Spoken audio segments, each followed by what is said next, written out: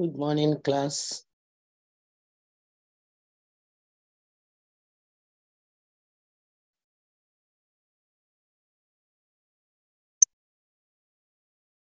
Good morning, class.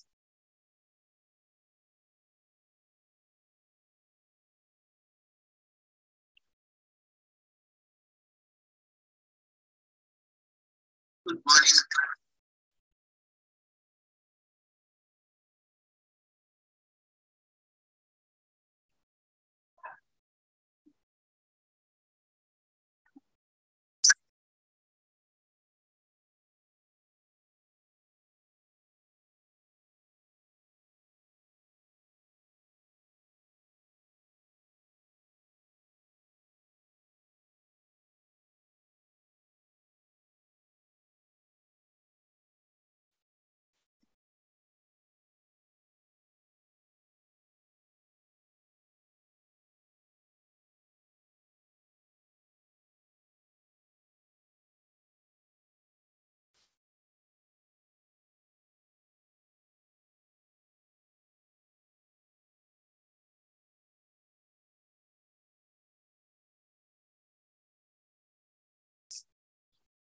We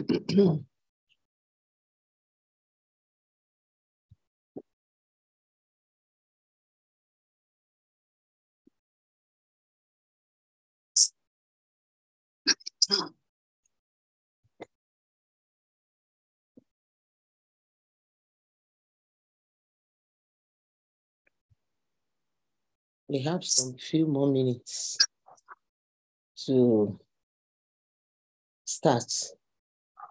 I I don't know the population is still very few, very low. Few more minutes to start. I don't know the population is still very few, very low. Few more minutes. Hmm. Hmm. Hmm.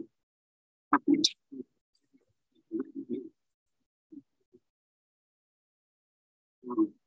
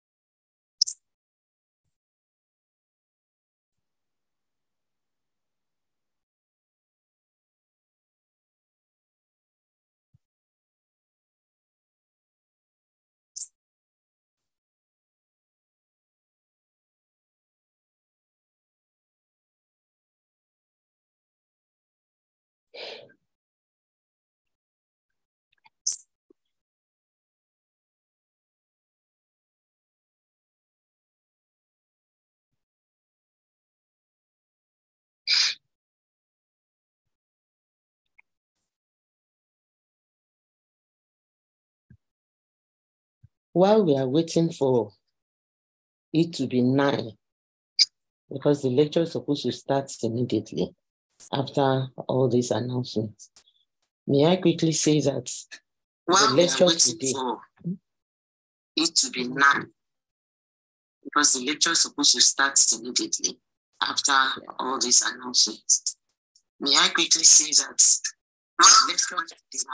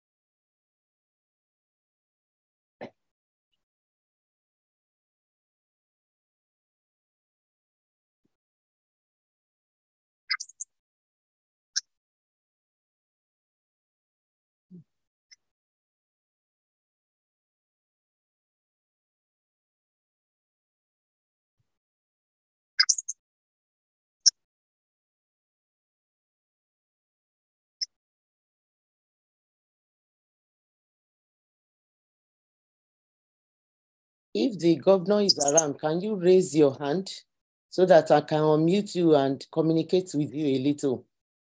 Are you all there?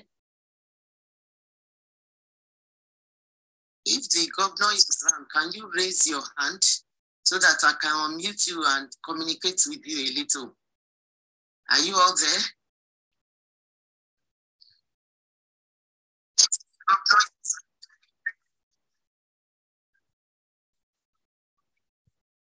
Okay. Okay. Okay.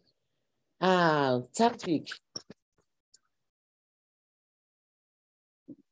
Taufik, I think I've unmuted Okay. you. Okay. Okay. Ah, Taufik. Taufik, I think I've unmuted you. Okay.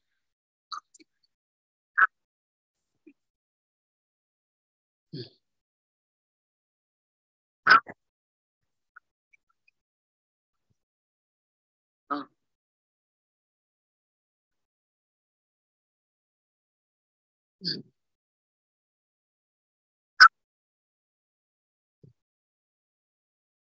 Okay. Mm.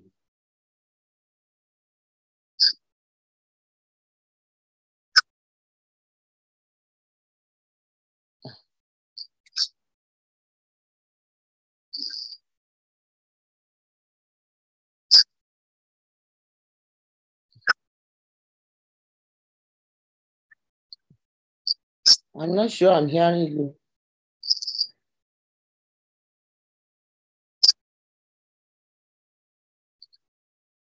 Okay. I'm not sure I'm hearing you.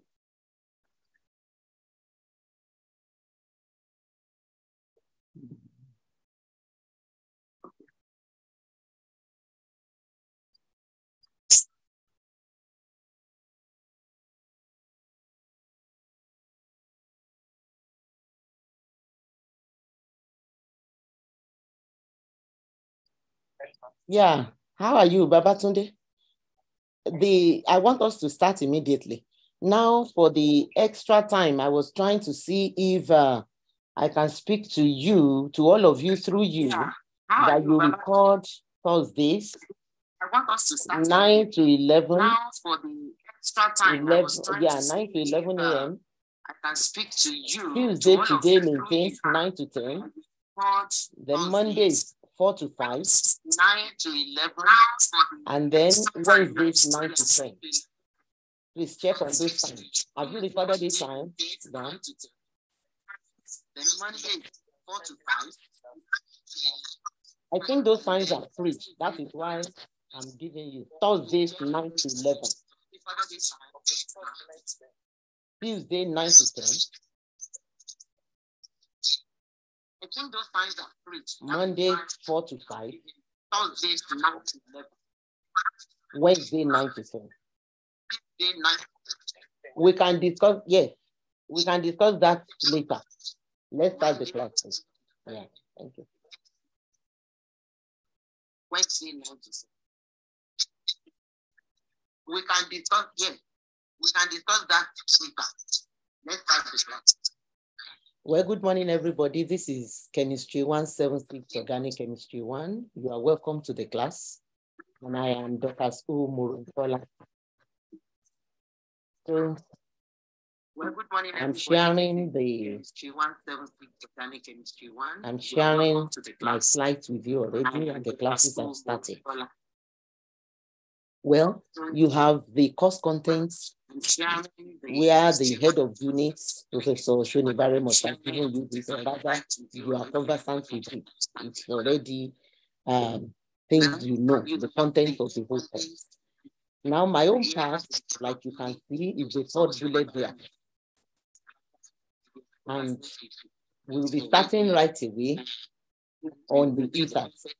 Immediately we finish that, my course content has mean, then the carbonyl compounds constituting the aldehydes and alkanones specifically.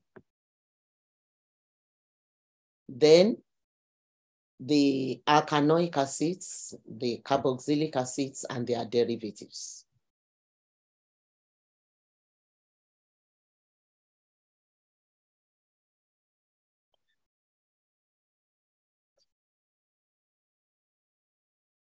So we start straight with the ethers. What are ethers? You are all conversant with water. The water molecule has the oxygen bonded to two hydrogens.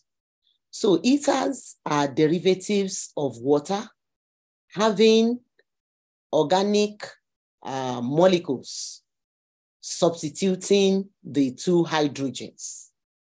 Look at that second bullet. You have the oxygen in the middle bonded to two alkyl groups, or it could be an aryl or an alkyl. Then it could be two phenyl groups, that is aromatics.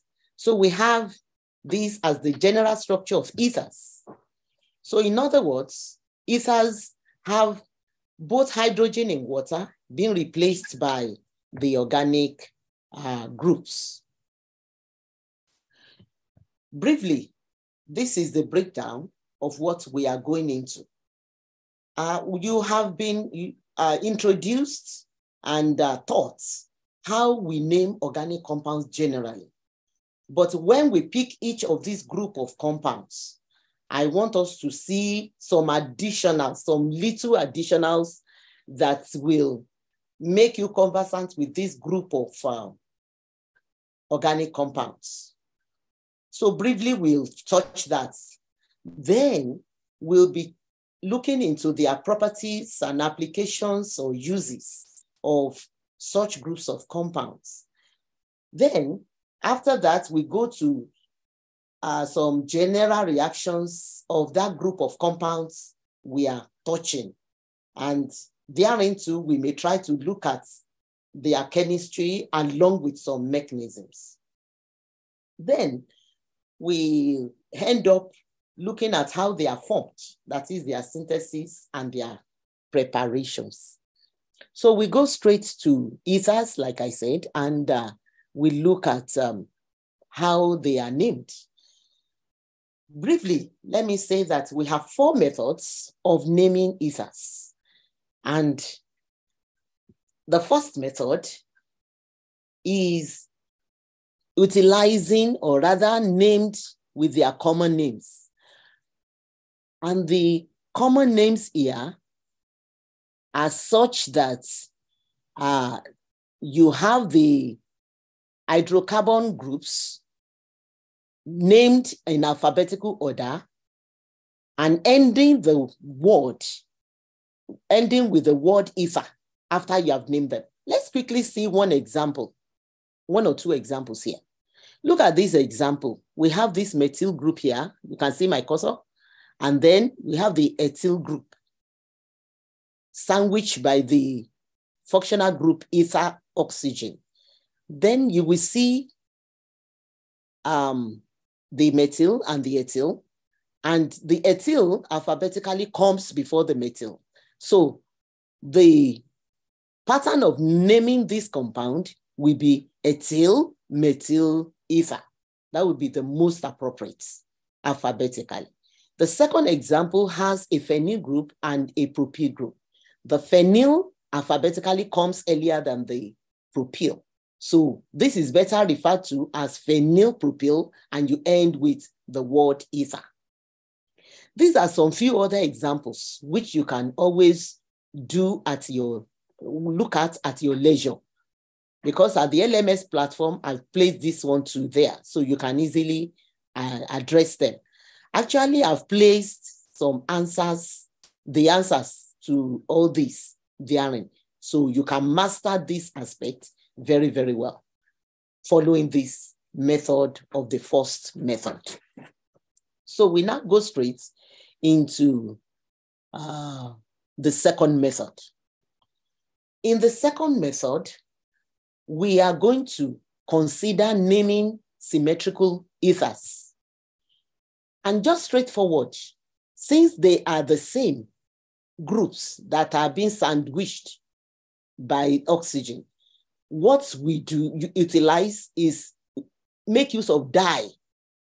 The hyphen di is utilized here.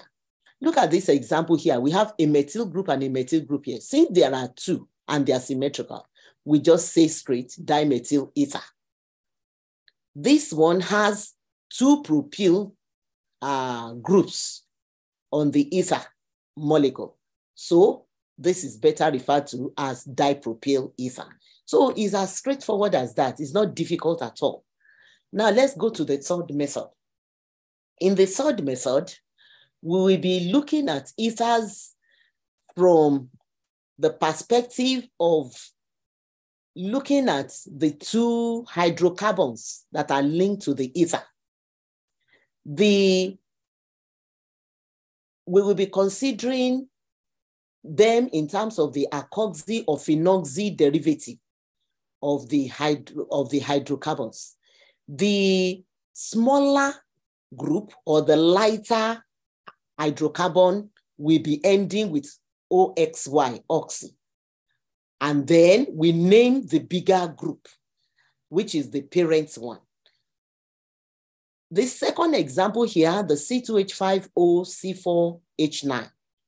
The lighter group or the smaller group is the ethyl. So we take it as the ethoxy. And then the parent one is a butane parent. So we name this one as ethoxybutane, not the other way around. Since this one is symmetrical, just take one of the methyl and we name this one as methoxymethane. Same thing too, you have these other examples. It is not difficult. Just make use of that. And I have the answers to some more examples I'm giving you here. Especially, let's consider that's number one. The number one in A has a branching. We have a pentane material here. On the pentane material, in the middle, at position number three, you have the ethoxy, the lighter group. Yep. And that's why this molecule ether is better referred to as 3-ethoxypentane. So the, on the three position, you have the ethoxy. So it is called the 3-ethoxypentane. You can check on the others. It's uh, very simple to name. So the fourth method is utilizing or bringing to use the trivial and the, or rather the common name. Trivial because it's old, uh, but though it's an old name, but it's highly uh, welcome. It's still make, we still make use of it in organic chemistry today. I have even the structures below because it is accepted. Now, the first one here is referred to as anisole. That's the trivial name. It is the methoxybenzene you can see the methoxy using that third method, and then you have the benzene ring. So that's methoxybenzene. The second one is phenetole. That's the trivial name, the common name. And you have the ethoxy benzene if you are going to name the IUPAC way. Now, the third one here is the three-membered epoxide. It's quite common. At times, we also refer to it as our oxirane. is a three-member cyclic ether. Epoxide, also known as epoxy ethane, ethylene oxide. The last one, the fourth one there, is tetrahydrofuran, is the five-membered ether, which is tetrahydrofuran. It is um, short formed many times as THF. You are going to mix up THF in textbooks, and at times too in this course, we will be using that THF. So just take cognizance of it that it is tetrahydrofuran. It's not difficult at all. So we are now come to the properties, applications, and uses of uh, some of these ethers. Well, ethers are utilized as organic solvents. In all our organic synthesis, in reactions, even in industrial processes, we have uh, these ethers being utilized as solvents. Uh, the most common among ethers is this diethyl ether, which is still a ethoxyethane. If you recollect very well, is a di- is a symmetrical ether. That's why we call it um, a diethyl ether, showing the symmetrical aspect of it. Is utilized as solvent in the lab. They, we make use of it in anesthetics too. And at times, even in the lab, we refer to it generally as do you have ether? When they say ether solvent in the lab, we, we are referring to diethyl ether. It's of high industrial value and importance. So just like water is common, we have this diethyl ether used as solvent in the laboratory. Now, most of these ethers are volatile, like I said earlier, and especially the lighter form, and they possess a kind of acceptable sweet odor, um, especially even the aromatic ethers. And that is why we apply them in cosmetics and perfumery. They easily catch fire, and that is reflecting their low flash points uh, property. They have very low flash points, so you don't expose them to uh, bare flames. Mm. They easily catch fire, so they are uh, in the laboratory. So they cause fire explosions, so you have to handle them with care every time you're handling ethers. Now, still on their properties, uses, an application, uh, the cyclic ethers, we have two of them here. This second one, THF, tetrahydrofuran, and the first one is epoxyethane. They are quite important in the lab. They, they have reduced volatility. They are easier and safer to handle, especially the THF, because it has the ability to donate uh, its lone uh, pair of electrons than more most other ethers.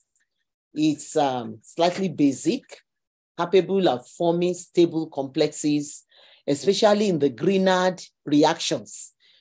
When we are making use of Grignard reagents, it's a very good medium for conducting Grignard reactions. Uh, THF could be, have been the most suitable medium when we are performing such reactions, but is not economically viable, uh, though is recently producing some commercial amounts. Now, uh, these epoxides happen to be colorless, low boiling liquids. We can easily uh, obtain it from the reaction of um, ethane, oxidative reaction of ethane at that high temperature, 300 degrees C, utilizing silver catalyst. Uh, there. Then there is this uh, alcoholysis of epoxy ethane that results into some monoalkyl ethers. These are them. The, the trade name Cellosolve. Uh, they are applied in varnishes and lacquers, since we are still on some of their uses and applications. So these are the, they are important as varnishes and lacquers.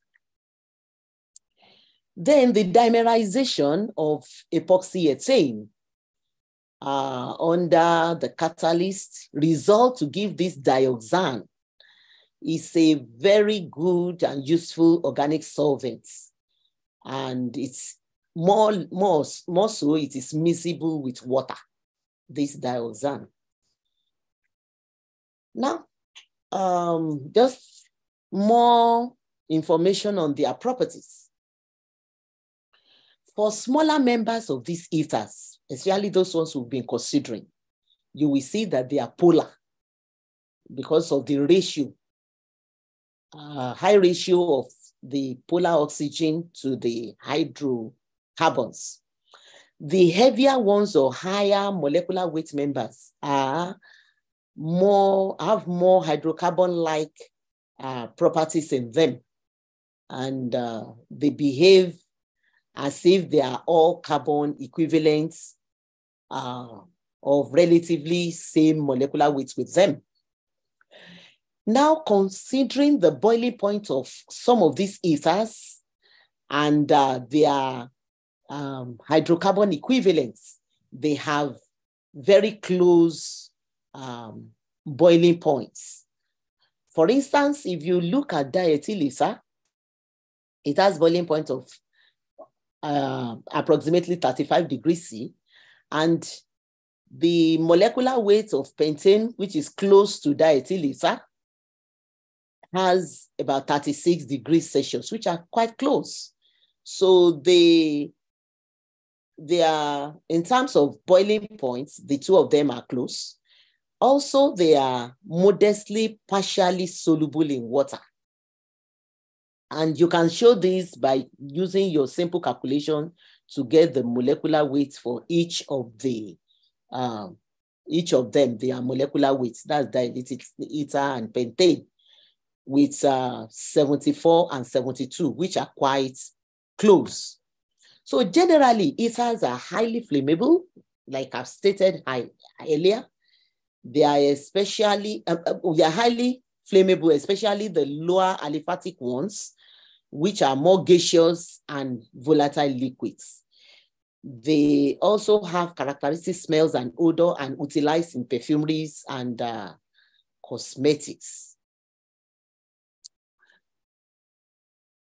Now, their oxygen atom have unshared pairs of electron, though it's not associated. So because of unavailability of suitable hydrogen bonding, especially, that could have resulted in their liquid state. So many times their boiling point is quite close to the hydrocarbon counterpart like we saw for the diethyl ether and uh, normal pentane. Um, but their the boiling point is uh, somehow lower when you compare it to the alcohol that have equivalent uh, molecular weight with them. So ethers generally are less soluble in water when you compare them with alcohols. We are coming to uh, deal with or consider alcohols as another group of uh, organic compounds later, but comparing it here, ethers are less soluble in water. Still on solubility, we see that they decrease in solubility in water as their molecular mass increases. That's for ethers. Uh, simple ethers like methoxymethane and methoxyethane are less dense than water, and they are sparingly soluble in water. So solubility of ethers generally decline very rapidly in water as the hydrocarbon content of the molecule increases. For aromatic ethers, these ones are generally denser than water. If you place them in a test tube in water, you will find out that they will be at the bottom, they are denser than water. Now we come to how they are formed. That is their synthesis or what we refer to as their preparation. And here we will be considering them in three perspectives. That is three major methods.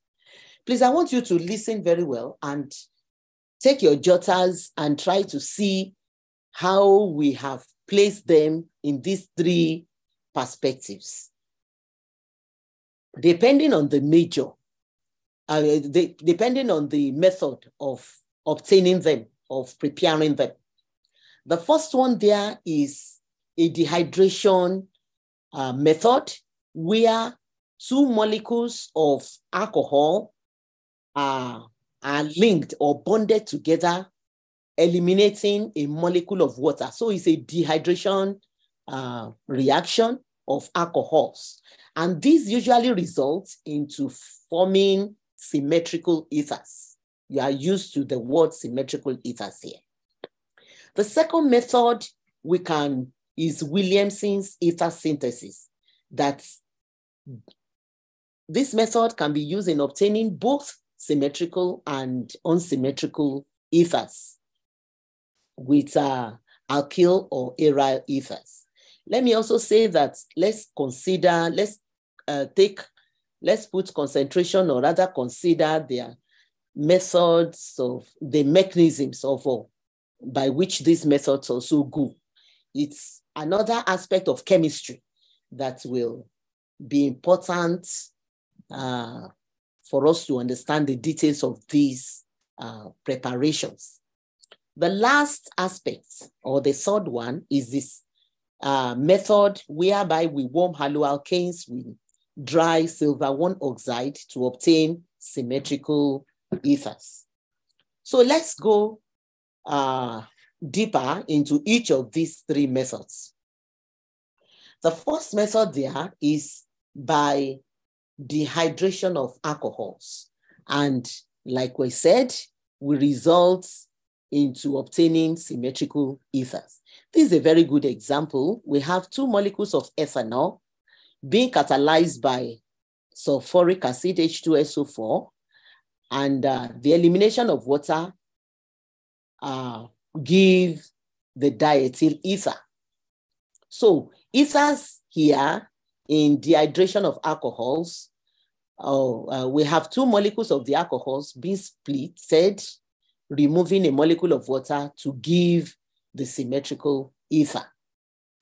So it's also a condensation reaction because of the um, we are bringing on we are bringing together two alcohol molecules and we are also eliminating or removing uh, water molecule from it. So the equation is stated below where you have these two uh, alcohol uh, molecule ethanol, and then you have your diethyl ether. I've used this red to show how the water is coughed out from the two ethanol molecules there. So that's the mechanism for that reaction, or you can look at where the condensation is obtaining. So in summary, let me say that symmetrical ethers with lower alkyl groups are prepared on industrial scale, uh, which are utilized as solvents by this method. And this is uh, a very common and important method for preparing what the most common ether, which is the diethyl ether. It's needful to tell me you here that uh, our elementary chemistry shows that whenever you react uh, H2SO4 with uh, alcohol, we have the uh, it results to give us our unsaturated alkene under um, this condition, that is conc H2SO4, but at 180 degrees. That's a general reaction of alcohols. It's usually undergo dehydration involving elimination to give alkene. But for us to obtain this dehydration method, the uh, condition, choice of reaction condition is very, very important, please. And that is why I'm highlighting it here. That for this second, first and this method of dehydrating alcohols, and to obtain ether, our diethyl ether in this example is being heated with conc H2SO4 at 140 degrees. And there must be continuous addition of ethanol so that we have excess of the alcohol and we now have the symmetrical diethyl ether, B, which results from that reaction. So the condition is important here, please, and that's why I placed it in red. The choice of reaction condition, very, very important. When it's at 180 degrees, you have the alkene being formed. But at 140 degrees Celsius with conc H2SO4, under continuous addition of the ethanol, that is excess of the ethanol, you have your ether being formed. So please take cognizance of that. It's very important, please. Now, very, very briefly, there's need for us to know that the structure of our alcohol uh, determines the mechanism in which this dehydration reaction occurs. Ether is formed by dehydration. Uh, ether is formed by dehydration of our alcohol by a nucleophilic substitution reaction. And the, the reaction could be either SN1 or SN2, depending upon uh, the protonated alcohol. Is it losing water before or simultaneously as the um, acid is uh, attacked by the second alcohol molecule. Straightforward. For bulkier alcohols, that is secondary and tertiary alcohols, the mechanism of the dehydration reaction follows SN1 mechanism. Whereas for our uh, primary alcohols, the mechanism is by SN2 mechanism, and it's not far-fetched. The stability of the intermediate, so to say, carbonium ion C plus that is formed determines the mechanism. We have more stable C plus carbonium ion formed for secondary and tertiary alcohols, and that is why it is going by SN1 mechanism. So the protonated alcohol is capable of losing water before uh, the attack of the second alcohol molecule. But for primary alcohols, which have the least uh, um, uh, stable C plus, they are more prone to backside attack from the SN2 mechanism. So primary alcohols like N-butanol, we give di-N-butyl ether without rearranging and presumably without intermediate carbocations. So for normal primary alcohols, they are the least capable of forming carbonium ion and they are more prone to backside attack following the SN2 mechanism. Let's see the next slide that indicates uh, this one. Oh, sorry. Okay. Okay.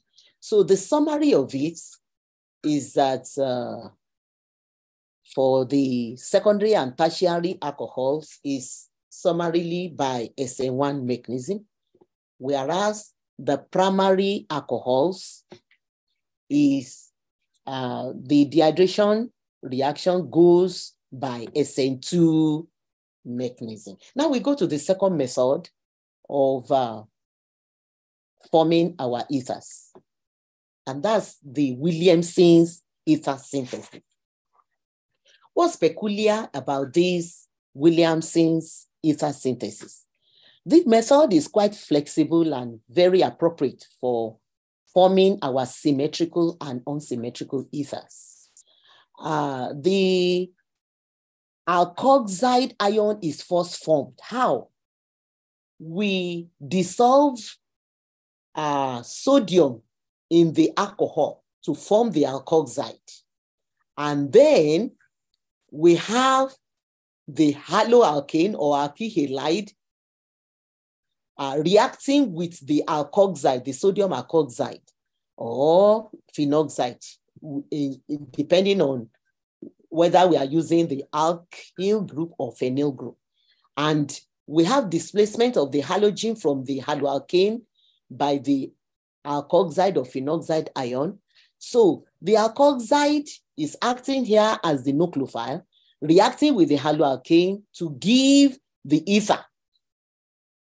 So there is first formation of our alkoxide by reacting sodium with the alcohol, later forming uh, reacting with the haloalkane to form the ether. Now the next slide shows what is happening here. The first formation of the alkoxide over here, since we have ethanol as our starting material, dissolving sodium in it, since we are starting with ethanol, we have sodium ethoxide being formed.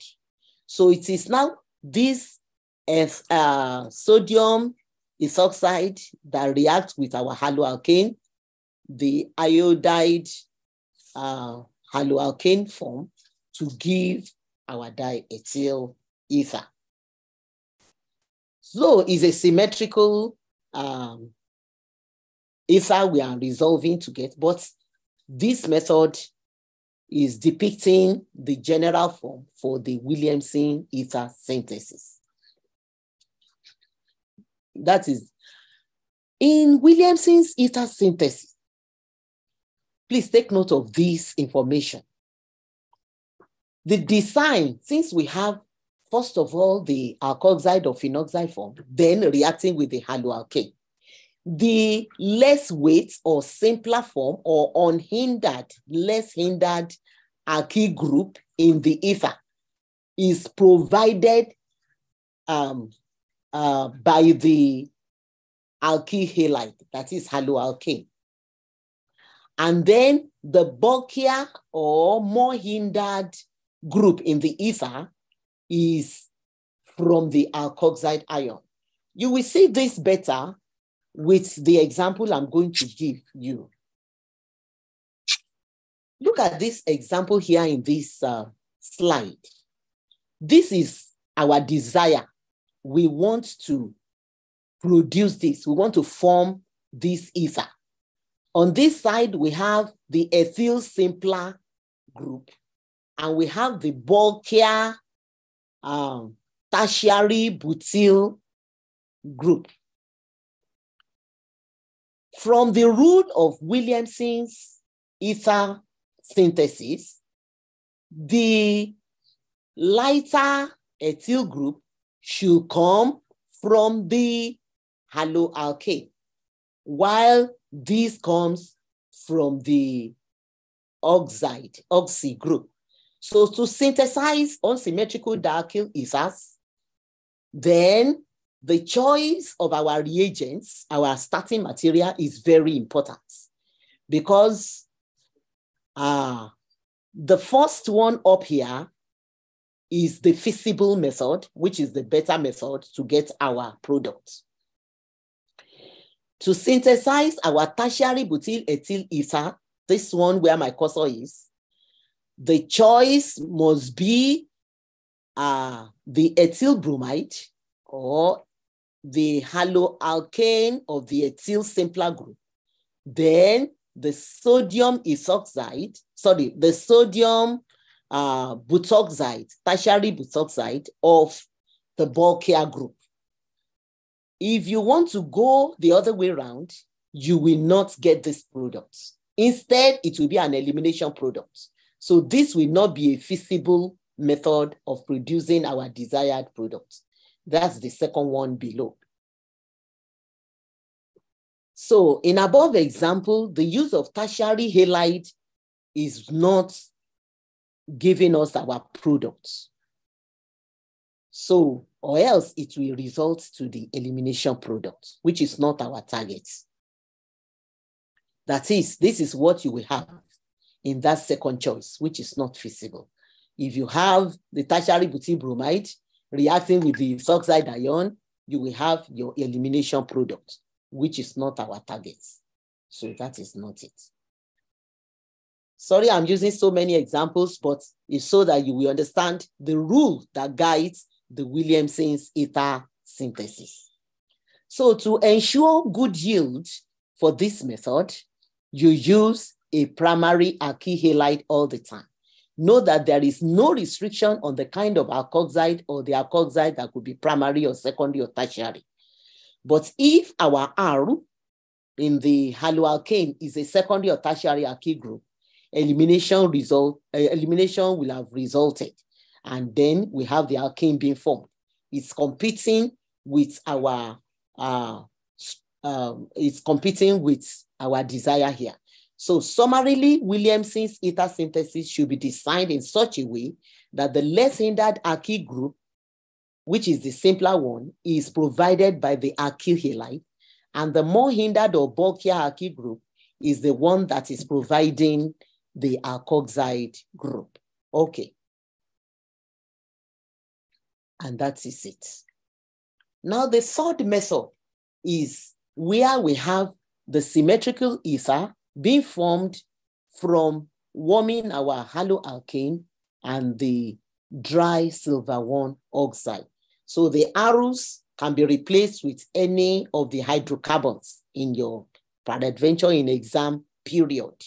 But it's a very straightforward reaction resulting in symmetrical uh, ethers. Now I have here some practicing questions which I want you to venture into. Finally, uh, I have the answers to these, I think, on the last try. Yes. So you can see that here uh, being displayed. Now on the chemistry with mechanisms of reactions, let's consider it in these three perspectives. too. though the first one is the most important reaction, and that's the cleavage reactions by strong acids. The second one is autooxidation reactions that yields peroxides. It's not an acceptable reaction, it's not very pleasant one. The last one, that's why you see me put X there in red. It's not a very pleasant reaction. The last one, third one there, is very germane and common where you are used to it in your Grignard reaction. Uh, complex formation through uh, Grignard reagent. This one yields a number of um, uh, a number of groups of uh, organic compounds, homologous series of organic compounds. Let me, I think it is uh, good I tell you that Anytime we have aromatic ethers, even though we are checking on alkoxy ethers here, but aromatic ethers will activate the ring to undergo uh, ortho para or 2-4 uh, substitutions at those groups, that is at positions two and four positions.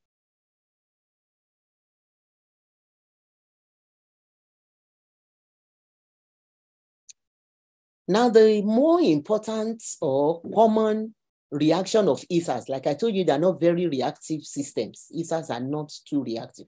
But the more important reaction ethers undergo is the cleavage reaction, utilizing strong acids like HX. Please take notes. This acid HX, because we are coming to that last bullet where we are going to see the trend of the reactivity of these acids.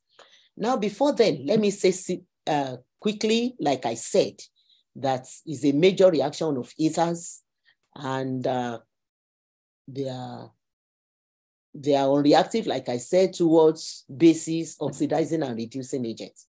So under vigorous reactions, conc acid and high temperatures, you have the oxygen carbon single bonds breaking off to, that is a kind of fission in this cleavage reaction. So on refluxing any ether with, for instance, hydrogen iodide, concentrated form, the organic radical cleaves to form the haloalkanes, that is the iodoalkane. And first of all, you have your alcohol being formed, and then you have your uh, hydrogen, you have the iodoalkane,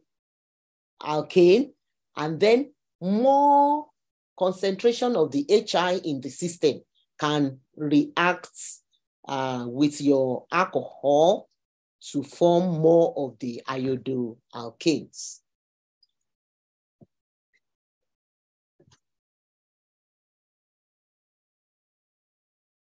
And that is the it here. Uh, under my condition, you can isolate your alcohol, but with more conc HI, you result having the iodoalkane coming up there. So that's on the general aspects of the reactions of ethers. So ethers are generally less reactive, like I said, than alcohols. They don't have replaceable hydrogen or proton on them. And that's why you have this as a major reaction of ethers. Um, then ethers do not undergo substitutions with ionic compounds. Neither will they react with metals and strong bases. So ethers are similar to alkanes in their reduced chemical activities. Uh, mostly they are utilized as solvents in organic synthesis, like I said, and that's why you can see them utilized as solvents because they are not very reactive. So the chemistry of ethers depend on the CO bonds, that is the OR part of the molecules. The oxygen has two pairs of non-bonding electrons uh, on them, unlike uh, OH on the alcohols. So the oxygen do undergo protonation in acid medium, We are in the mechanism, it donates its lone pair of electrons. So ethers more or less are acting as bases when you go into the mechanisms of these cleavage reactions. Yes, they are less reactive than alcohols, more or less they are inert. And uh, the functional group, like I said, is that oxygen that is sandwiched by two alkyl groups. So they are unreactive, like I said, even to bases, dilute acid, reducing agents, and so on and so forth, like we said. So, and that's why they are utilized as solvents therein. So now, uh, we also mentioned this when we were under preparations. So this gives a kind of uh, mechanism on the general reactions of ethers on this cleavage. You have your acid, though HI we used in that example earlier. I'm just replacing with HA here, where you have the hydrogen protonating the ether oxygen. So can you see protonated? That's why I'm eh, denoting it with a plus. So ether oxygen is being protonated by the HA, which is our strong acid. And then this protonated oxygen is now attacked by uh, uh, the nucleophile, the A minus or I minus, like we have seen earlier, to give the um, halogenated alkyl. And then we have the release of this weak base, that is the alcohol which is a very good leaving group. Like I said, if we have excess of the acid, we have this alcohol uh, reacting further with the uh, acid to give the iodo, sorry, the halogenated alkyl group. Let me say that uh, on the mechanism of the nucleophilic substitution reaction involved in the cleavage reaction of ethers. The HI is more rapid um, in the cleavage. That is, the cleavage is more rapid utilizing HI compared to HBr because iodide ion is a better nucleophile than bromide ion, and bromide ion is a better nucleophile than chloride ion.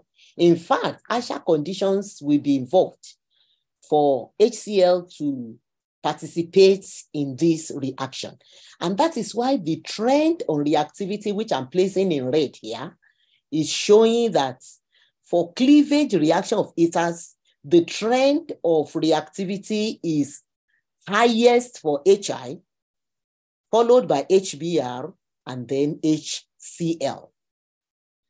So you will recall that on refluxing ether with conc HI in excess, the organic radicals cleave to form our haloalkanes, which is in this case iodoalkanes, since we are making use of HI.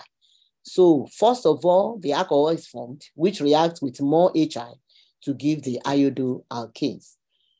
Now, in a system where you have same amount of HI, um, where you make use of equivalent or same amount of HI, HX and ether, we have uh, less amount, that is, you have less amount of HX. You make possible the isolation of your alcohol that is formed. So, but by the time you have more of this HX, like the conc HI, you have the alcohol reacting more with the HI to give the iodoalkane. It's a repetition of what I've said earlier, that you result getting more of the iodoalkane with excess uh, conc HI in the material. Now for the third, second method, which is autooxidation. Hello? Okay. Mm -hmm. Now the next reaction is the autooxidations, and which I've said is not a very uh, pleasant reaction. Ethers slowly absorb oxygen, they form peroxides when they are exposed to sunlight. So when they are in contact with air, most aliphatic ethers get converted to their unstable peroxides. Good. So the peroxides are unstable. They are uh, dangerously shock sensitive and they explode easily even in small concentrations, since they decompose with explosive violence. So it's an explosive reaction. It's not very pleasant, but just for you to know, that is one of the common reactions of ethers. It's an unwanted oxidation, like I said. And many times you have it has been stored in uh, dark bottles so that they are prevented uh, from forming uh, the peroxides, though there are some reactions that you can uh, use in removing the peroxides from them.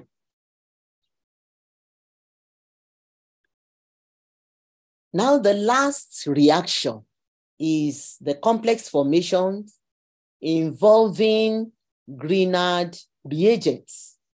Uh, our diethyl like I said, ethoxyethane, is a very suitable solvent in the laboratory where our diethyl is uh, having its oxygen donating electron to the magnesium ion in the Grignard reagent. Uh, the, what depicts what depicts um, uh, this is that the diethyl ether or ethers uh, rather are very good medium where the Grignard reagents uh, uh, is well involved in the Grignard reaction in that perspective. So the chemistry below is what I've given. But let me say that, that this reaction is a, uh, a practical application that results into forming a number of important homologous series of uh, organic compounds like your hydrocarbons, your alcohols, your aldehydes, your ketones, your carboxylic acids. So this Grignard reaction is a very applicable reaction. But just take note that ether here is a very good medium for such compounds to be uh, produced by the Grignard reaction. Uh, the next aspect we are going into are the alkanamines. And I'll just introduce you in the couple of minutes, definitely less than 10 minutes, before Professor Shonibare comes in very soon to uh, uh, round up his lecture, which he has started with you physically before. So we come to the alkanamines. Alkanamines is written in our uh, content, our course content. But let me say straight off, we have them generally referred to as the amines because we have both the aryl and the alkyl forms of these amines. So we have the alkanamines. Yes, alkanamines. You are used to, or you are, you know the structure of ammonia. Ammonia are NH3 systems. So these alkanamines, or rather amines, are derivatives of these ammonia, where I have these examples up here, where you have my cursor as examples of amines over here, which are derivatives of ammonia. Can you try and name some of these amines where my cursor is moving here? Have you seen them? Great. Uh, briefly too, because he has taught you the general way of naming organic compounds. But I will just put some inclusion or here. And that is the first aspect we will just look into, which is on the naming and of uh, some of these uh, academics. Briefly, these are some rules that are guiding. Somebody is raising up hand. Okay. Just within five minutes, let's go through this, please. That uh, the alkanamines are really aliphatic forms of our amines. And on these four slides here, on this slide before us here, amines are organic compounds that contain a central nitrogen bonded to one or more carbon atoms, which could be alkyl, cyclic, or phenyl or aromatic group. So they are more or less derivatives of ammonia, like I said, where carbon atoms are replaced by either one or two of all the three are being replaced by the alkyl groups. Over here, you have the, these as examples where one of the hydrogen in the ammonia is replaced by methyl group. So we call it a methyl amine. This one is replaced by two methyl groups, so it's a dimethyl amine. The last one here, third one, all the three hydrogen in the ammonia is replaced by three methyl groups. So that's a trimethyl amine. So we have replacements of the hydrogen in ammonia, which are, which results in our amines over there. So they are quite abundant in uh, nature and they are of high biological importance. Uh, we have them quite common in am amino acids, proteins, nucleic acid, enzymes, coenzymes, vitamins, even some drugs. So you have this. The nitrogen in such amines are sp3 hybridized with lone pairs residing in the sp3 orbital.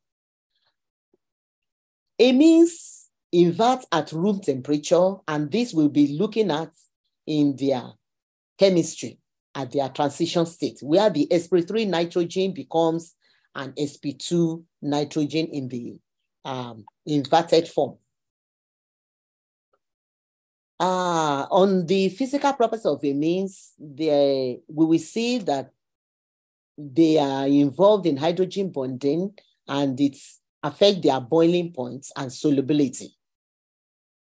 The lone pair electrons on nitrogen atom causes the amine to react as bases, sharing the lone pair with a proton as a nucleophile. Uh, you can name this. I think we better stop here so that uh, we can have Professor Shonibare come in very soon. Let me see. Uh-huh. We will comment, we will continue from there the next time.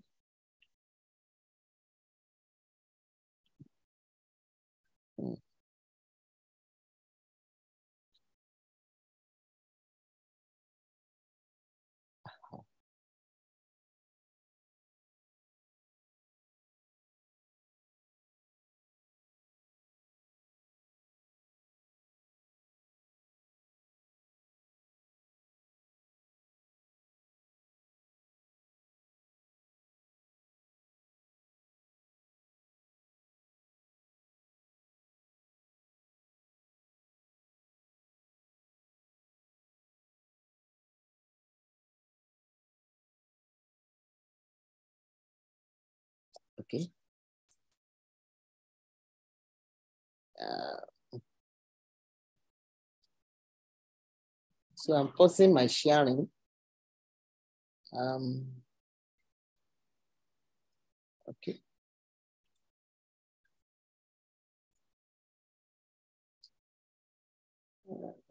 Uh,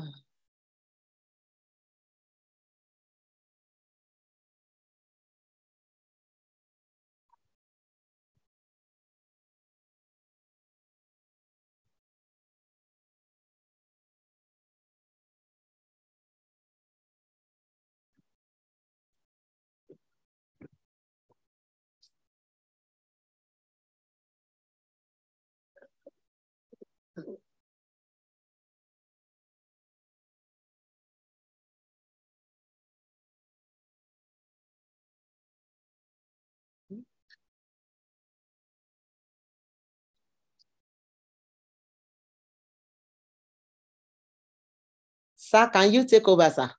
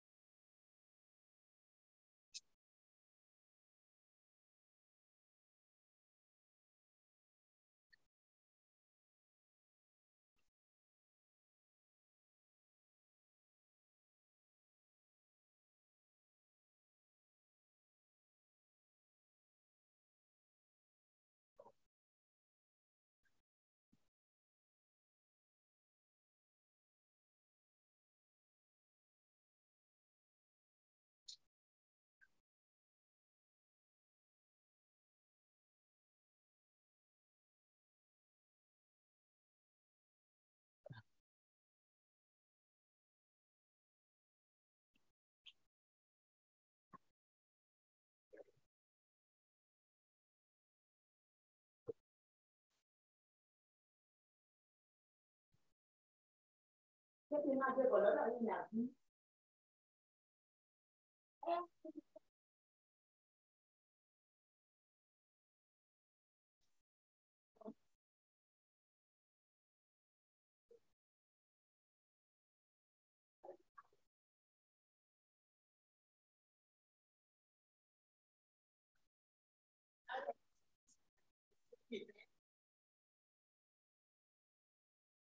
mi ò tiẹ̀ recognize orúkọ wọn lẹ́bi títà.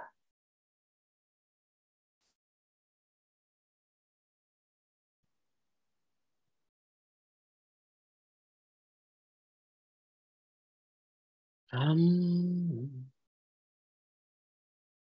mm.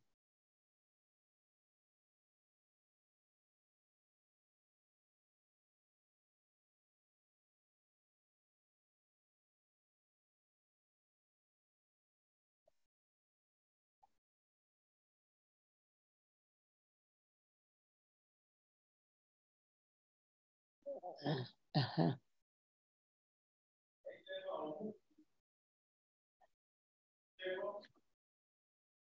mo gbọ́ sàbọ̀ tí mi tí ì rí orúkọ yín ni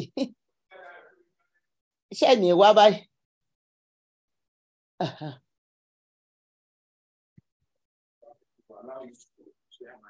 Bẹ́ẹ̀. This is B. You have to go to. Okay. No. mo fẹ́ràn meet gbogbo èèyàn. Because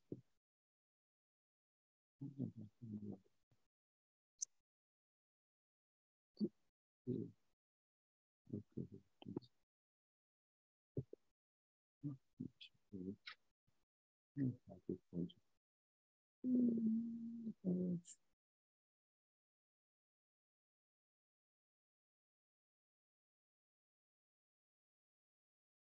Okay, I'm seeing it.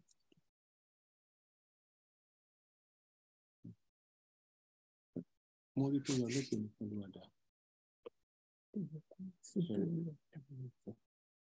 There should be a way that you can just Pick it. first. Hmm? Hmm. What should you say? It's like hmm. there should be a way to be able to find. No, they mute everybody.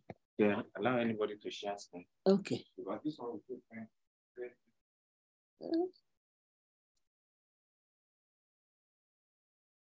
Okay, mo ti allow yín láti unmute sir. You in particular.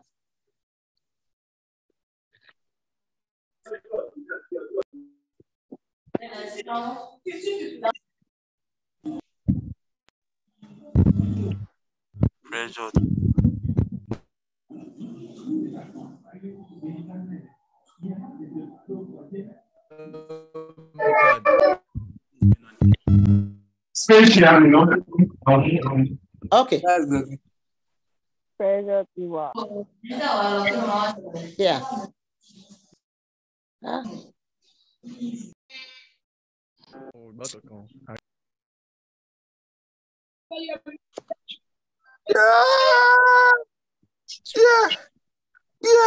Hey,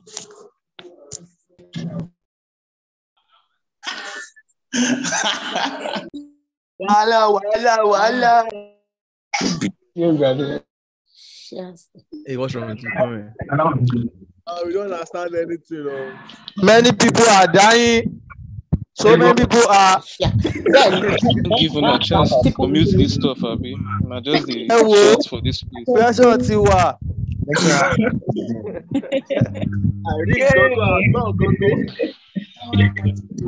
Abeg, how many of una understand wetin dey put for That for, poor. for today? Understand Alpha. wetin? Wetin dey talk now?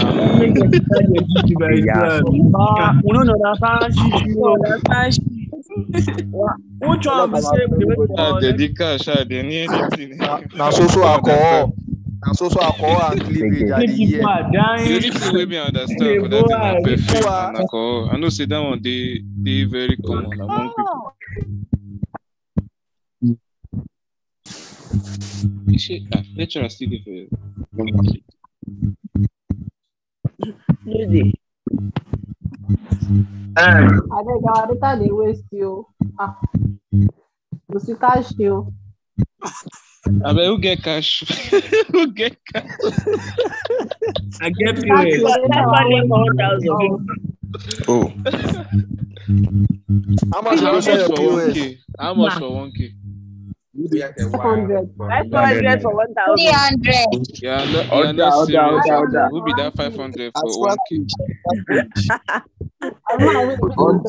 hello, man. Hello. one k for one k Hello. Oh. No, no, no, go come school. Order, order, Oya o, make una keep that o. Lecturer don enter. order, one k for one k Aha. Hey, please, let's behave, let's behave. We are behaving. We are behaving. Okay, class. Uh,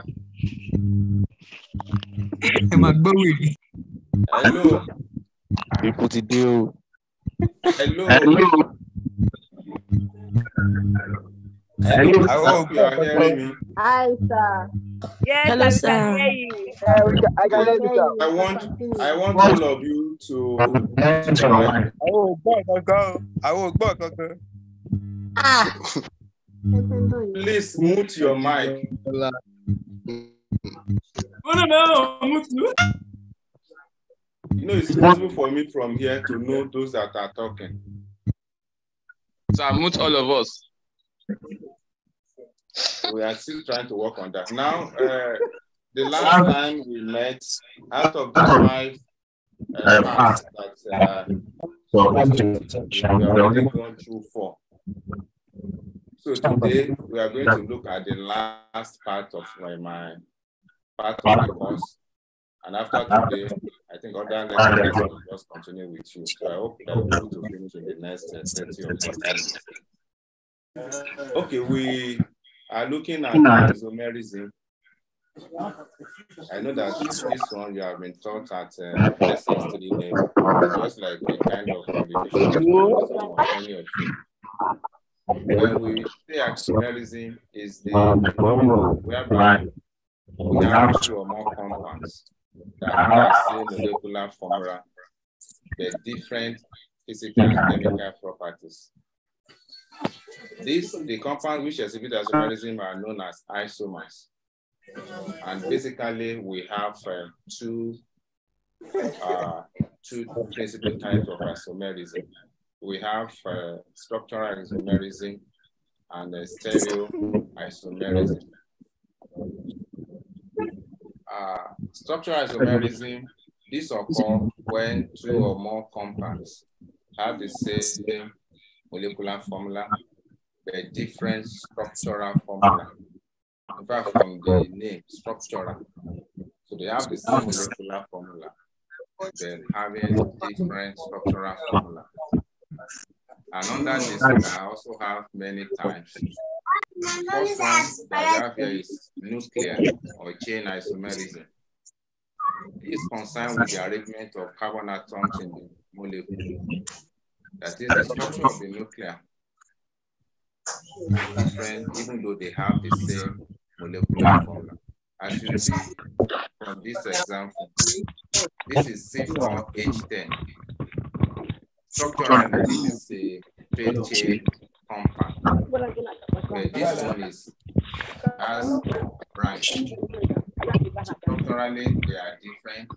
The molecular, they, they have So many people are dying. Then the other one has to do with position isomerism. People know. Estimated by isomers. I don't able to mute their mic. I'm just saying They have the same carbon skeleton.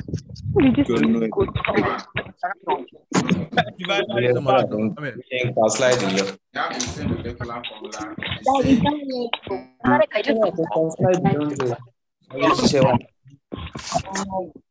in They have the same molecular formula. the Please, you guys should mute your mics. I don't If you are not teaching, mute your mics. Ah.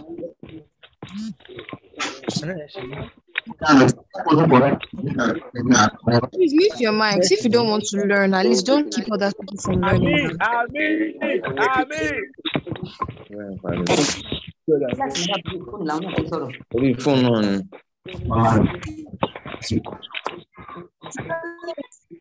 Fóònù náà ni. Uh, once we have alcohol, we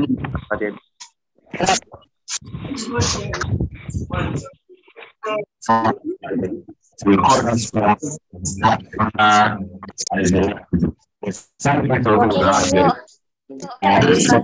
are not hearing you, sir. Some people are saying they've not muted their mics, and even your own is echoing.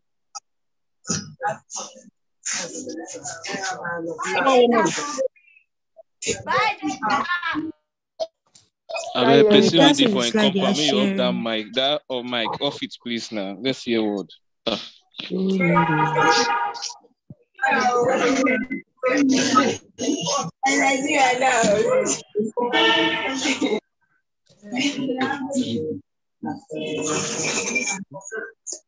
Ah.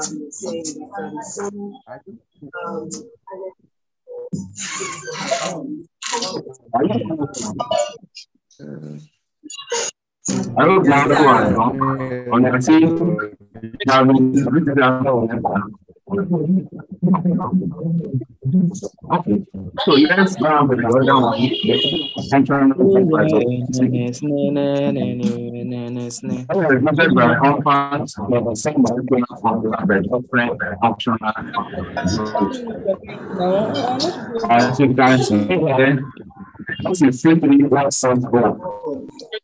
This is this is the the behind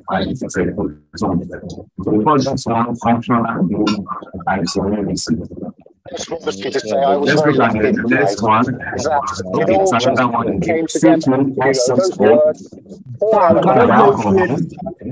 And this one is and this are so the same program for the different functional that's a lot for and it's an then we have what? Also as a tendency. Part of the program whereby different actors of the are to the same contribution. Man. We don't say don't say but my family say the crowd of parties for different structure. As you can see, that's for examples here. The two of them are eaten. Yeah, it's uh, like attached oxygen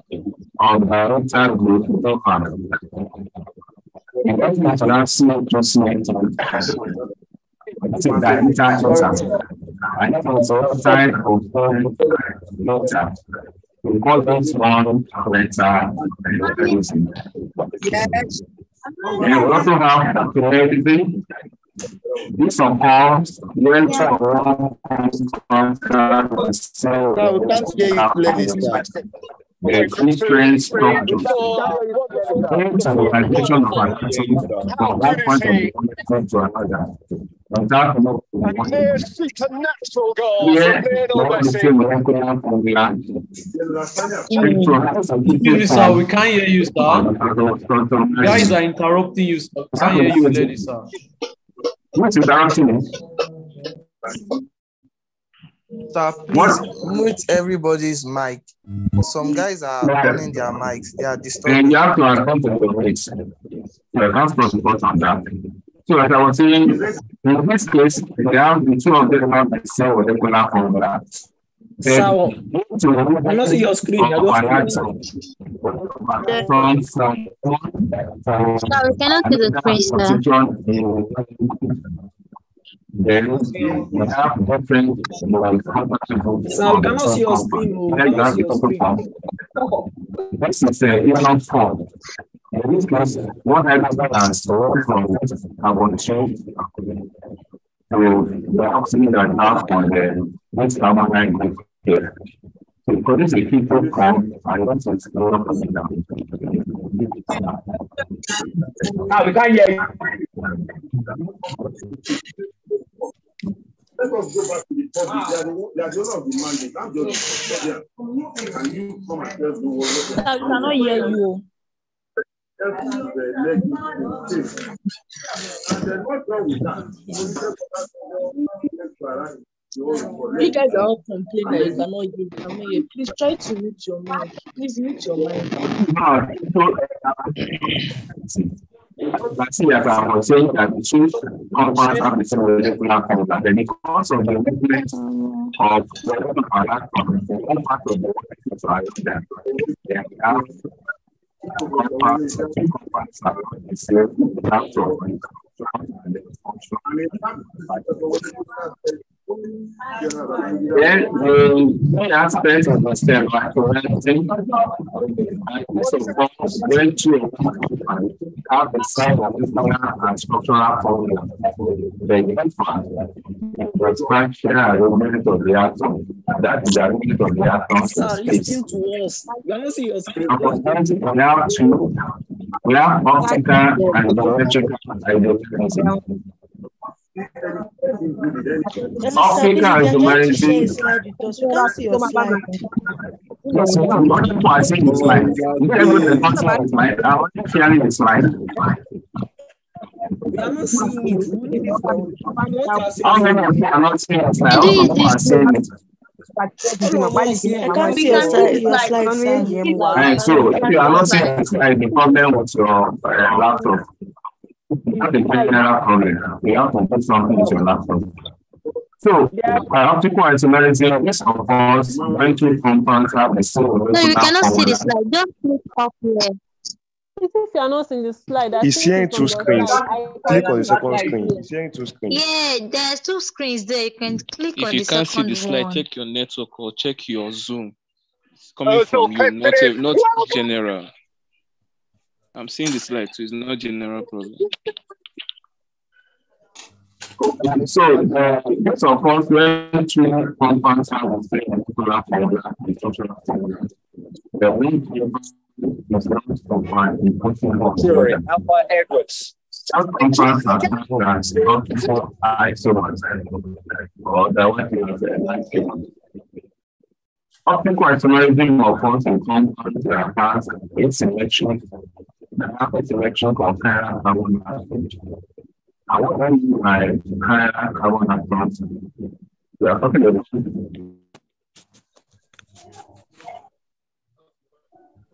the that and those compounds are usually the carrier. They are able to the position of the bone mineralized like first in short.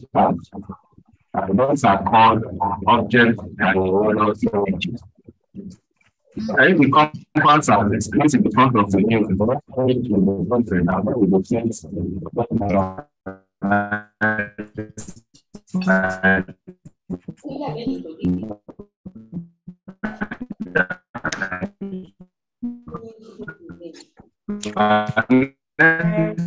Sir, the slide is not showing.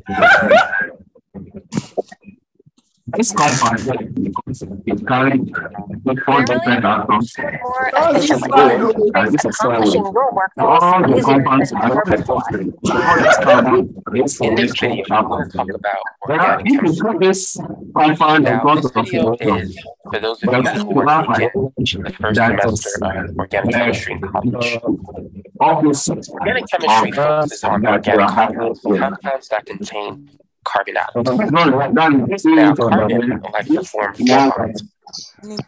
But you also need to know the number of bonds that the other elements like to form. So elements in the first table, like hydrogen, they like to form one bond. Beryllium, they have like to form two bonds. Boron, which has three You know, you understand what I'm trying to say? Carbon has four valence electrons. Carbon likes to form So, those are all image of one another. Nitrogen likes to form three bonds. In most cases, the two compounds Oxygen likes to form uh, then each one is an enantiomer. and the other So halogen the solution of one enantiomer looks iodine. They like to form one bond. clockwise. Somebody is like we're talking around that church Always trying to make it seem as if you never been Someone around that is you running. facing something Look at what they do with the other people can't walk away. Can't be separated from it. Sticking on my neck is how I made it where I'm at. You want to cut it up again, and they can never take it from me. Who is that person something like that? She could leave it if it vanished. Don't matter to me. I didn't know what to say. So if there's a way you can mute everybody, do it. Let's find a way and mute I- I'm not the one that said something, so that's why. You want to enter. I told you The host should mute everybody. So just find a mute everybody.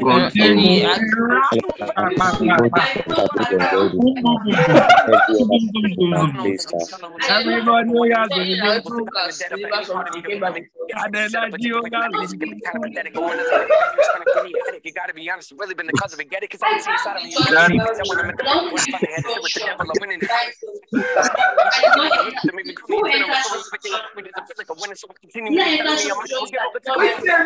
I'm not the Infinity, voice. some of live in the canon when I can never give you Well, you guys the heavenly final, but you give me back the sanity, give me your life. Who is that guy that wrote this chemistry is something something? That guy should stop what he's doing now. Everyone, please. This is ridiculous. We have not heard anything you've been saying at all. We've not heard a thing. I latch on to like a big dog. And someone is playing Eminem in the background. What a life I live, life I live, more like a sci-fi flick. Guy hiding, what do I stop right in? My silence doesn't mean I'm dying. Just means Is that guy that wrote this chemistry is something? Is that guy? What was this? Please, Quiet. they should send that guy out of the call. That person. But that's to just you take your info. Who they play NF for there now? The name that person that is playing something. You want come on, come on. What they do now? Ah, Please try and move every other participant.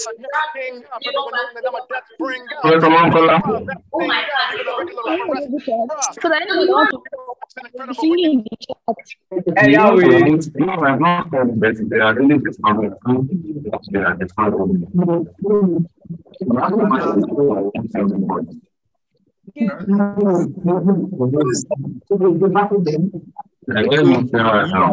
Mike now. Imhotep, beg now.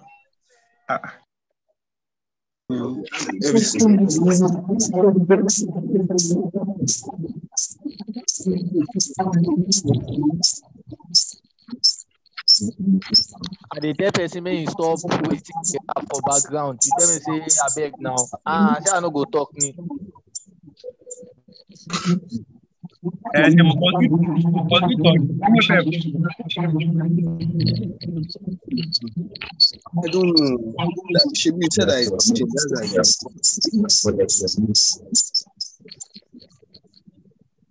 Now, now don't hijack lecturer. You don't hijack class from lecturer. Now lecturer no fit talk again like this.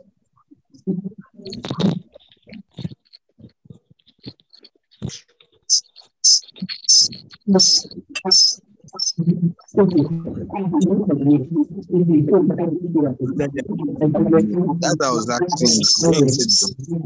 person disrupting the class should fear God though. That person should fear God though. But I don't know why you be you be a sadist. You be you be deriving pleasure in other people's pain.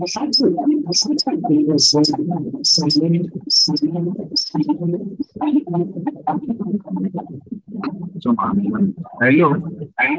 If you are hearing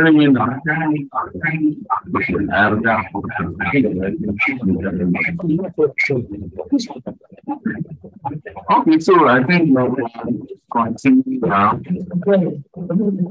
So let me go back to article isolation. I said, first of all, when two compounds have the same molecular formula and structural formula. But one compound is not compound impossible for the other. And some compounds are held as uh, optical isomers, also as uh, enantiomers. Um, optical isomers working upon compounds that have asymmetric or chiral carbon atoms center. Those are sometimes here. That's a compound. It's asymmetric because the atoms that are joined, all the atoms joined to the carbon atoms, they five. Not saying to not describe it, not saying that's a slow age. Well, if you play this compound forward in front of the mirror, that will have an image that is always like opposite of what you have here. Remember, we said the languages are also able to separate the possible and the other. If you try to this one on the next one, not going to get it here because in this case, the of thing is here. You try this one on side, and the issue that we on this side, and on this side. If we call this the land so much. Okay.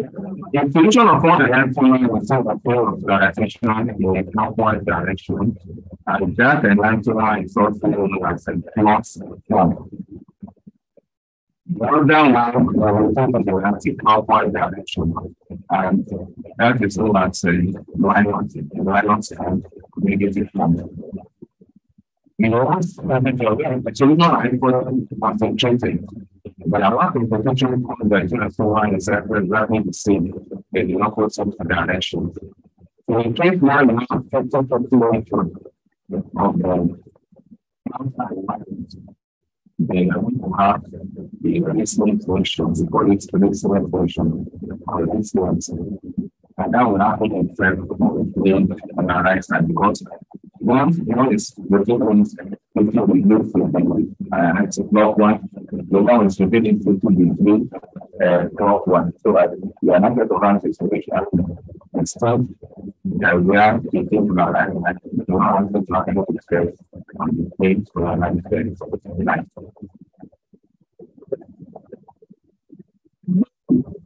Other one is the token isolation. And this important there is both conversation around the carbon atom. Either as a result of the presence of water compound or the presence of the element or other stemming effect in the factors.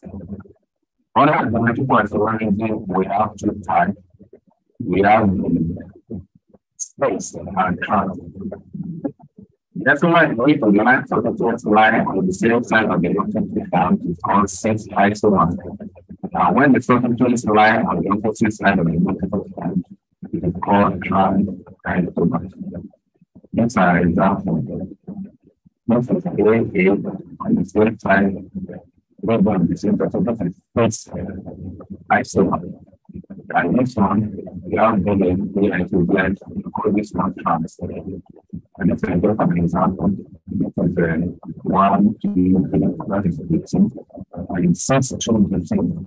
But the term, the both sides are stating on the same side, the same plane. We call it six, two, fourteen. But that's another uh, one. One of the safety is on this side, the other safety is on this side. That can talk about that one. And then there's.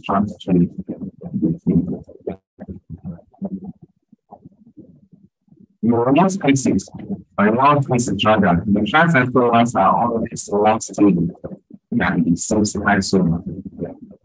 But if you see the direct acid, if you write that's this form, correspond at the line. And for the trans single direct acid, the inverted form is so it is. So you can see that the trans is almost able than the than the same isomer. The two atoms are the hand and the car. The end of the the electron. So those electrons isomer, you know, are set down and that's the language as your SS in them. Uh, the only thing that for them to know the different types that we have on that region, because it's not far. Not the structure that we said we have different types of structural severity. And then the other one is with steroids. So we have to offer that. And Africa, and so maybe. Well, I'm not sure. I know we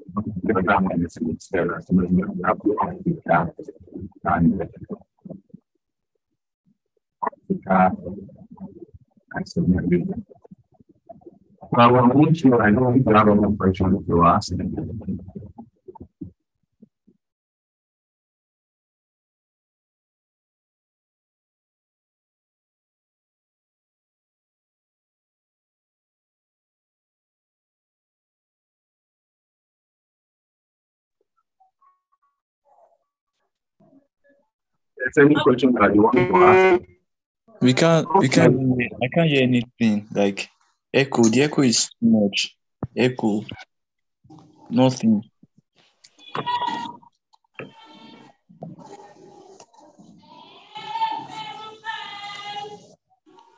Ah. But who the fuck is that? Damn. Uh,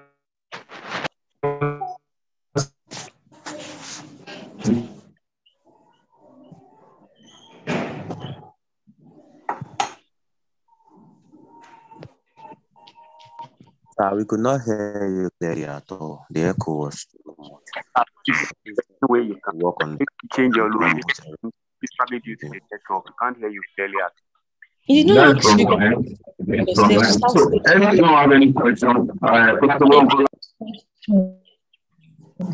What is all this now? The echo was too much, sir. Please.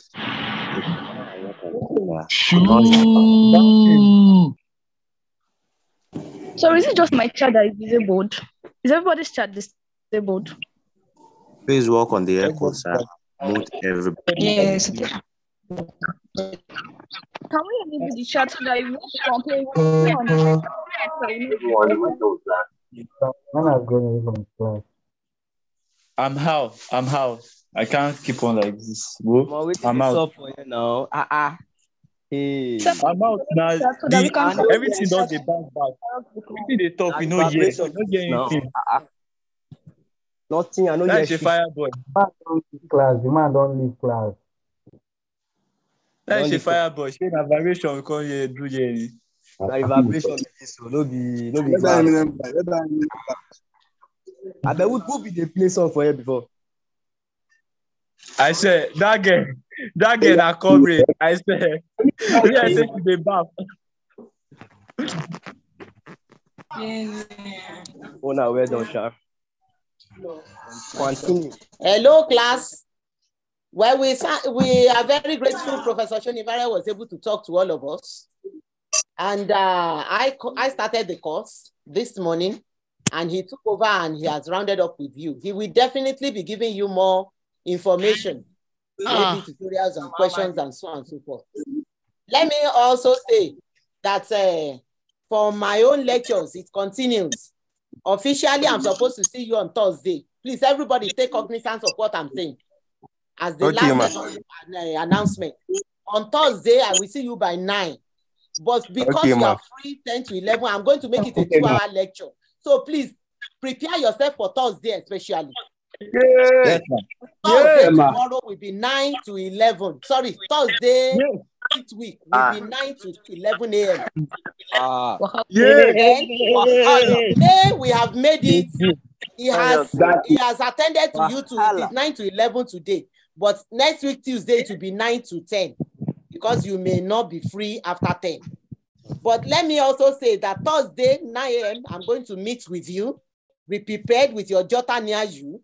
And if I, I I may not post anything at the LMS level again, you just click Ah. on the link I've given you, and we continue our lecture from where we have stopped today. So we are starting off on the alkanamines, have, I just briefly introduced. Is that you you, man? No problem.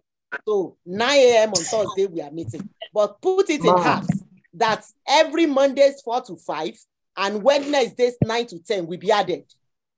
Hello? Apart Wednesday. from our official, yes, officially, everybody listen to me. Officially, Tuesday 9 to 10 and Thursdays 9 to 11, three hours. But ah. I'm also adding Mondays 4 to 5 p.m. and Wednesday 9 to 10 so that we can go at slow pace and we can go. so your tutorial questions will also come up. So I wish you well. This morning has been successful. We believe it will be more successful. Thank you. Hello, ma. Hello, ma. Please, can you can you repeat the class? Come. We couldn't hear you well enough. Uh, listen, uh, I will send the note of what I taught you today on your uh, platform. So I think from that you can then uh, download it. Sir, I want to have a question. I asked you a question. Okay, what is the question? We couldn't hear anything. You can go ahead and ask your question. Okay, sir. Um, with, with the slides you shared the other time, Yes. what's the difference between position isomerism and functional group isomerism? Position has to do with the position where the functional groups is atta- attached. Why functional isomerism has to do with different, I mean, isomers having the same molecular formula, but having different functional groups. You know, the Yes, example sir. I gave you example of alkanal and al- alkanone. I think I gave you C3H6 or something like that. The one. Yes, sir. Please, I have a question, sir. Alkanone. So the two of them have the same molecular formula, but the functional group different. Oh, thank you, sir. Hello, sir. Yes, sir. Please, I have a question, sir. Okay. Yes, sir. With the uh, slide we shared on the LMS, please, sir. Yes. Hmm. What was it? I can't hear you. I can't Sir. hear you. Yeah. Good morning, sir. Good morning, sir. Good morning. Good morning. Yeah. Sir, I have a question, sir. Ask, go. Yes, I just Sir, asked that when with the you share, I just asked that with the the- slide we shared on the LMS, please, and said yes, sir. Three hours Slide. is too much. I can't. Yes, what are you sir. saying? That I should do Like what? the lecture, the, the lecture of today, I said we will it be shared on the LMS? I told you, yes, I'm going to send it. Maybe I will send it on WhatsApp to your class. Uh, is it class rep now, class governor, or captain? Then you can then post Okay, it sir. And other lecturer, uh, the other lecturer that took us would that one be shared also? I think she will do the same. Okay, sir. Thank you, sir. Thank you Good very much, sir. Good morning. Yeah. So I have a question. When you were explaining the dextrorotatory and levorotatory, so I didn't kind of understand the aspect. We said we know we have enantiomers. So normally the one, and we said they are optically active. The one that will rotate it clockwise. Another one will rotate it, rotate it anti-clockwise. But when you have uh, equal mixture of two, of the two, we call that one race slip. And of course, going to be optically inactive because as one will be rotating it 50% to the clockwise, the other one will also be rotating it 50% uh, anti-clockwise. So it's like you are not having any rotation. So that's why it's going to be optically inactive. Oh, oh, okay, sir. Thank you, sir. Sir, another question is that um, the professor that talked, the lecturer that uh, talked earlier, she said we are going to be having unofficial class on um, Monday, 4 to 5 p.m. So I didn't hear the Wednesday uh, time period. Unofficial class. When? Yes, she said she said we are going to be having the official class on Mondays and Thursdays, and we are going to be having another classes on Wednesday. No, official classes on Tuesday and Thursday. Yeah, Tuesday Nine- and Thursday. nine- right? Yeah. Tuesday 9 to 10, then Thursday 9 to 11. So she said she said we have another section like Monday 4 to 5 p.m. And that's unofficial. Uh, Wednesday. And Wednesday 9 to 10. Okay, sir. Okay. Thank you, sir. Do you have any other question? Yes, I have a question, sir. Okay. It's on uh, optical isomerism. Now, I want to uh, confirm if um, optical isomerism is the basis for the manufacturing of vaccines, in the sense that, um, Of for what? example, now when the COVID 19 was out, I I just what? meet some guys and they were like, in manufacturing vaccines, you create something that is um, optically um, different uh, from the um, virus, and then such that it can like um, um, like destroy the, the the the virus. Like they were like the COVID nineteen vaccines. They they are just identical to the COVID uh, to the virus itself. Or the only difference is that they are wait, um, wait, wait, optically different. wait, so I just want to like make inquiry concerning that. Is that true? It's not true. Okay, sir. It's. Um, Okay, sir. uh, vaccine uh, development or manufacturing is more complex than the, uh, what you are saying. It's, it's not because of maybe one is optically active and going to attack. No, I- that is not optically active. It's He said, more far, "Only far more one hour class kan ti wọ́n lẹ̀ bá complex than that. là ṣe lọ mọ nǹkan ní ìṣẹ̀lẹ̀ àdúrà. Oh, I hope there's no question again. So, Sir, Dr. there is- will meet you on Thursday, Yeah, nine. 9 to 11. So I have a question, sir. Okay, let's go ahead. Um, sir, the uh, what you are talking about, I don't really get is that isomerism part, and I cannot even see it well on my. I can't even see it on my screen, sir. Yeah, it's your screen. it's a problem with your skin. It's not a general problem. As I said earlier, isomerism should not be new to you. It's what they taught you at the SS3. The only difference is that no, at SS3 they just so that you have structural isomerism and geometrical isomerism. So they may not likely tell you the different types of uh, structural isomerism, and that's what we have just done today. Yeah, uh, so I will I send have this. I Uh, have the a note question, is uh, straightforward. I will send the once you read the note. I think you should. It's not possible for me to go over over, over everything again. So, but I will send the note to your class rep. I will share it on your, your platform. So I have a question, sir. Okay. Yeah. That the positional isomerism, I don't really get what they meant by the arrangement and all, sir. It's when you read the position, it has to do with the, the position.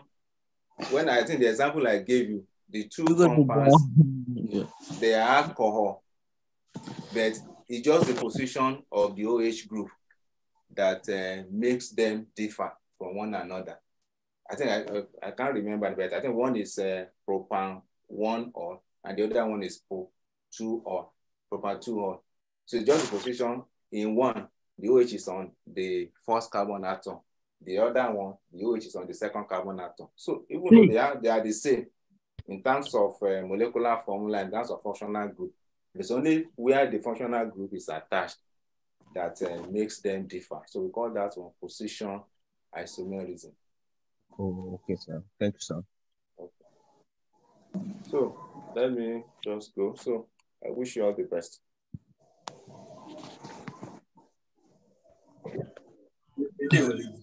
I don't know. Somebody to YouTube lesson. Eh, please, can someone let what's the meaning of your unofficial class? Is it a physical class or will it still be virtual? Everything is virtual.